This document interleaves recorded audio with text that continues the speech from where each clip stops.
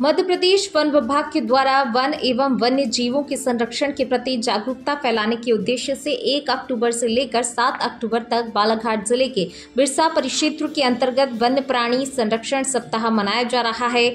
One विभाग के अधिकारियों द्वारा वन्य प्राणी सप्ताह के दौरान आम लोगों को वन्य जीवों के बारे में जागरूक किया जा रहा है।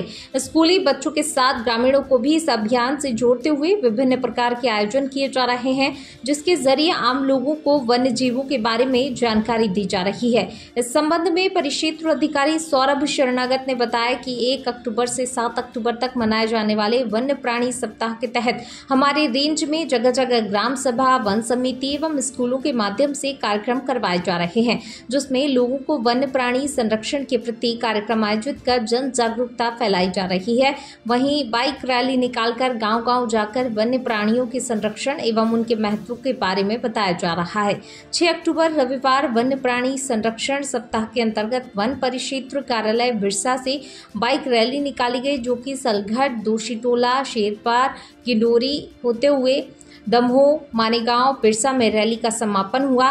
बाइक रैली में बैनर पोस्टर के माध्यम से वन्य प्राणियों के प्रति जागरूकता फैलाई गई। इस दौरान वन परिक्षेत्र अधिकारी सौरभ शरणागत, उपवन क्षेत्रपाल एस एल गर्दे, परिक्षेत्र सहायक विनय धुर्वे, जीवनलाल वरकड़े शिव कुमार सरोते, वनपाल के एल धुर्वे, विजय आमाडारे केसेंद्र धुर्वे वन रक्षक भरतलाल नेवारे खेमराज नागेश्वर देवेंद्र मरावी बुद्धिराज सिंह बघेल महेंद्र वलके संतराम उइके संजू मेरावी होतम सिंह बघेल शैलेंद्र राणे नीलेश गौतम बी एल भवरे बसंत चौरिया राहुल कार ओम प्रकाश यादव सहित समस्त सुरक्षा श्रमिक उपस्थित रहे।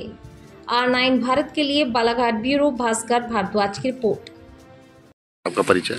मैं वन परिक्षेत्र अधिकारी बिरसा दमोह सामान्य हूँ। मेरा नाम सौरभ शरणागत है।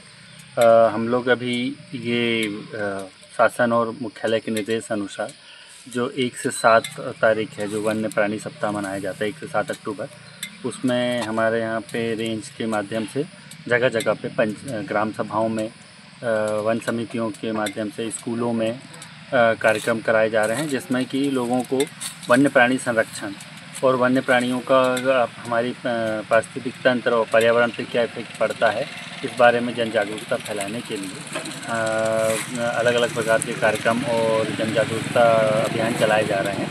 इसी के जन जागरूकता अभियान के तारतम्य में आज दिनांक छः तारीख छः अक्टूबर को परिक्षेत्र के सभी भागों में रैली निकालकर परिक्षेत्र स्टाफ के द्वारा बाइक और वाहन रैली निकालकर गांव-गांव जाकर लोगों को वन्य प्राणियों के महत्व के बारे में समझाया जा रहा है उनके संरक्षण क्यों ज़रूरी है ये बताया जा रहा है। सर ये अभियान कब तक चलेगा सर? ये एक से सात तक का था तो ये आज छः छठी तारीख है सात तारीख तक ये अभियान चलेगा जिसमें अलग अलग अभी इसमें हमने स्कूलों में भी कार्यक्रम कराए हैं और ग्राम सभाओं में समितियों में अलग अलग जगहों पर कार्यक्रम कराए जा रहे हैं।